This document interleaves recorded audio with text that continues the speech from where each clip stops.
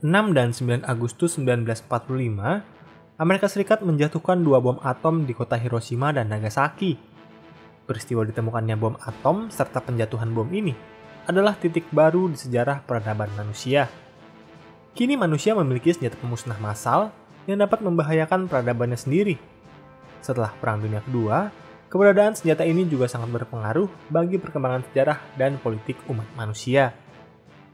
Misalnya mungkin kamu pernah mendengar istilah seperti nuclear deterrence atau kejadian penting dalam sejarah kayak krisis misil Kuba yang bisa dibilang sebagai momen penting dan menentukan bagi keberlangsungan dari peradaban umat manusia.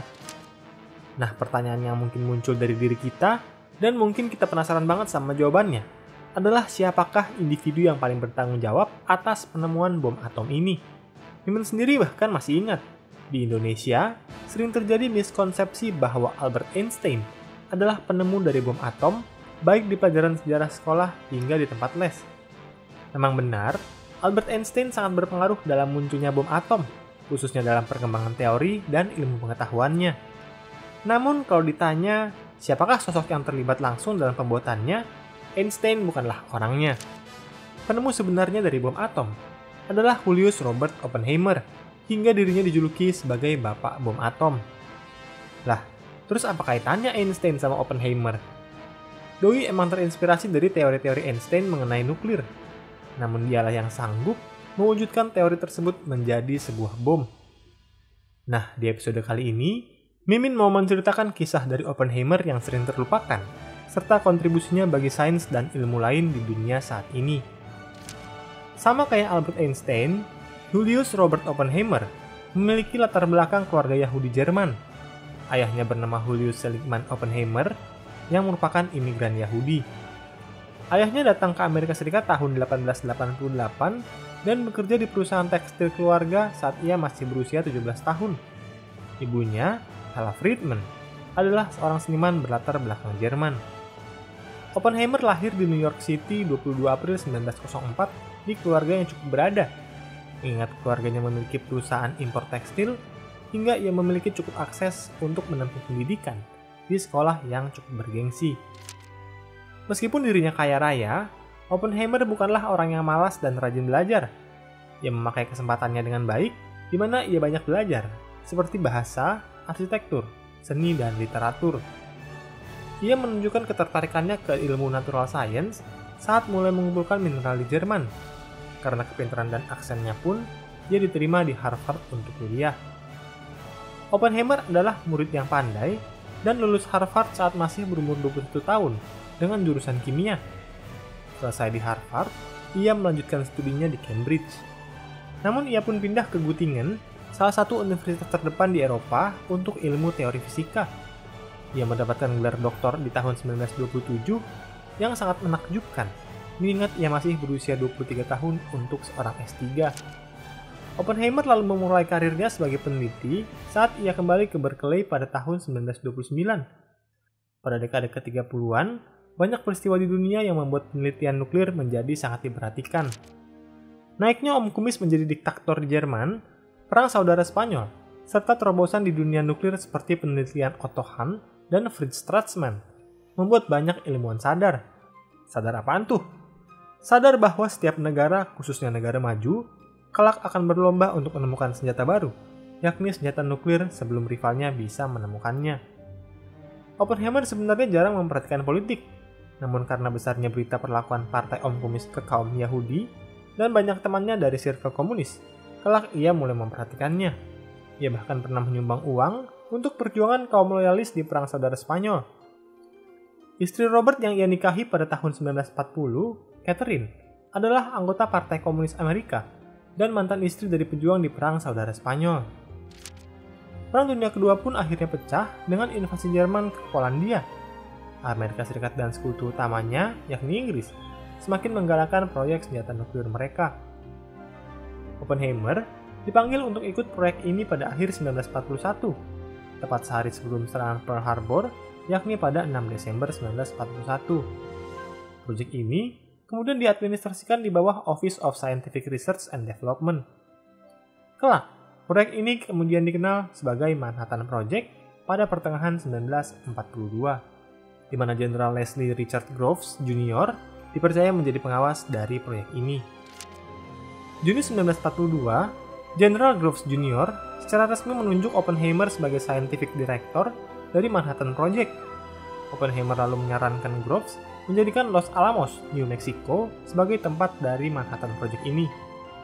Meskipun awalnya tempat pemilihan tersebut sempat diragukan, namun J.R. Groves terbukti sangat tepat memilih Oppenheimer sebagai Scientific Director. Oppenheimer memiliki banyak orang kompeten dalam proyeknya, dan nggak butuh waktu lama. Manhattan Project pun berjalan 100% dengan orang-orang yang kompeten di setiap bidang. Oppenheimer adalah orang yang sangat detail, inspiratif, dan efektif saat menjabat sebagai Scientific Director dari Manhattan Project. Koordinasi dari proyek ini sangat baik di bawahnya, dan kelak ia sanggup mengatur lebih dari 3.000 orang dalam proyek ini. Akhirnya 16 Juli 1945, puncak dari seluruh proyek Manhattan terbayarkan di Alamogordo, New Mexico. Senjata nuklir pertama pun sukses diledakkan. Malam pun berubah menjadi sangat terang, bagaikan siang hari. Berdasarkan pengakuan di kemudian hari, Oppenheimer melihat ledakan tersebut sambil berpikir sebuah kutipan dari Bhagavad Gita. Aku telah menjadi kematian penghancur dunia. Musim panas 1945, Perang Dunia Kedua sudah berakhir di Eropa, namun Sekutu masih harus melawan Jepang, negara poros terakhir. Sekutu tahu Jepang sudah tidak mungkin menang, namun militer Jepang sangatlah keras kepala dan fanatik, di mana mereka ingin bertempur hingga titik darah penghabisan. Pertempuran Iwo Jima dan Okinawa kemudian memperlihatkan bahwa tentara Jepang sangatlah berbahaya, dan mereka akan memastikan bahwa sekutu membayar mahal setiap meter dari daerah Jepang yang ingin mereka kuasai. 2 Agustus 1945, intelijen Amerika Serikat menginfokan bahwa Jepang telah mempersiapkan 560.000 prajurit di Kyushu yang siap mati demi tanah air. Presiden Truman pun sebenarnya sudah mengantisipasi hal ini dan ingin sebuah alternatif dibandingkan mengirimkan pasukan Amerika. Di saat yang sama, China Kuomintang, sekutu Amerika Serikat utama di Asia, berhasil menahan sebagian pasukan Jepang Hal ini membantu Amerika Serikat menerapkan strategi island hopping sambil mengurangi korban jiwa di pihak sekutu. Juli 1945, Amerika Serikat hanya memiliki dua bom atom aktif. Awalnya Kyoto dipilih sebagai target, namun batal karena kota tersebut memiliki banyak nilai sejarah yang tak ternilai. Akhirnya Hiroshima dan Fukura lah yang dipilih oleh sekutu. Bom pertama dijatuhkan sesuai rencana pada 6 Agustus di Hiroshima sedangkan bom kedua malah dijatuhkan di Nagasaki karena pada 9 Agustus cuaca di Kokura sangatlah buruk. Jepang akhirnya menyerah enam hari kemudian dengan alasan bom atom. Meski kita tahu bahwa mereka menyerah karena khawatir Uni Soviet sudah siap menginvasi Jepang dan takut jika kaisarnya dijatuhkan. Kesuksesan bom Oppenheimer yang katanya sanggup membuat Jepang menyerah, membuat Oppenheimer menjadi sangat terkenal ia banyak mendapatkan pujian, serta karirnya melejit menjadi konsultan politik ranah nuklir. Ia bahkan disebut sebagai bapak dari bom atom. Namun saat acara penyerahan penghargaan dilaksanakan di Los Alamos, Oppenheimer berpesan bahwa senjata nuklir harus membuat umat manusia bersatu dan bukan saling berperang. Jika senjata nuklir dipakai untuk berperang, maka suatu hari nanti kemanusiaan akan terkutuk karena adanya senjata ini. Perang Dunia Kedua sudah menelan banyak korban jiwa dan pengeboman Hiroshima dan Nagasaki adalah pengingat bom atom bahwa umat manusia harus bersatu ke depannya. Kalimat Oppenheimer ini sangatlah merefleksikan kondisi dunia politik sekarang. Dengan adanya senjata nuklir, kini peperangan dilakukan dengan hati-hati dan gak semerta-merta diumumkan secara frontal seperti zaman dulu. Civis pacem parabellum, yang berarti jika ingin damai bersiaplah menghadapi perang. Dalam sejarah dunia, negara-negara di dunia seperti Soviet, Korea Utara, Amerika Serikat, India, Pakistan, Cina, dan lain-lain memiliki senjata nuklir bukan untuk berperang, melainkan daya tawar dalam perundingan seperti saat krisis misil Kuba. Inilah yang merupakan konsep yang dikenal sebagai nuclear deterrence, di mana senjata ini mengubah banyak aspek di dunia dan zaman peradaban modern. Setelah Perang Dunia Kedua selesai, Oppenheimer tetap bekerja sebagai peneliti, di mana ia terpilih menjadi Ketua Umum Komite Masalah Nuklir Amerika Serikat. Terlepas dari itu, dia juga aktif dalam memperjuangkan perdamaian antara USSR dan Amerika.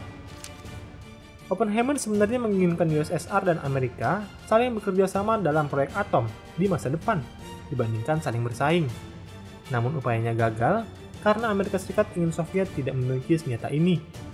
Kelak, USSR pun akan memiliki bom atomnya sendiri. Di tahun 1953, Oppenheimer dituduh menjadi simpatisan komunisme karena masa lalunya yang dekat dengan orang-orang kiri. Hal ini diperburuk fakta Klaus Fuchs, anggota Manhattan Project, yang terbongkar menjadi mall dalam proyek tersebut. Ia diketahui memberikan banyak info kepada Soviet mengenai proyek tersebut. Hal tersebut tentunya membuat Amerika Serikat kaget karena Uni Soviet sudah mengetahui rencana ini sebelum peristiwa Hiroshima dan Nagasaki, serta membuat khawatir bagaimana informasi sepenting itu bisa bocor. Izin Oppenheimer pun dicabut pada 1954 dan ia dilarang untuk ikut proyek lagi. Akhirnya Oppenheimer bekerja sebagai penulis dan pengajar dan ia bahkan mengunjungi Jepang pada 1960, negara yang menjadi korban dari proyek terbesar dalam hidupnya. Presiden Lyndon B. Johnson menghargainya dengan Enrico Fermi Award untuk mengingat dan menghargai jasanya bagi Amerika Serikat di tahun 1963. Ia meninggal 1967 karena kanker tenggorokan, di mana pemakamannya dihadiri orang-orang yang terlibat dalam Manhattan Project. Nah, apakah pendapatmu mengenai sosok Oppenheimer? Coba tulis di kolom komentar. Hai, terima kasih sudah menonton dan belajar sejarah bersama Inspek History. Jangan ragu untuk berikan komentar, like, dan bagikan bila kamu merasa konten ini bermanfaat.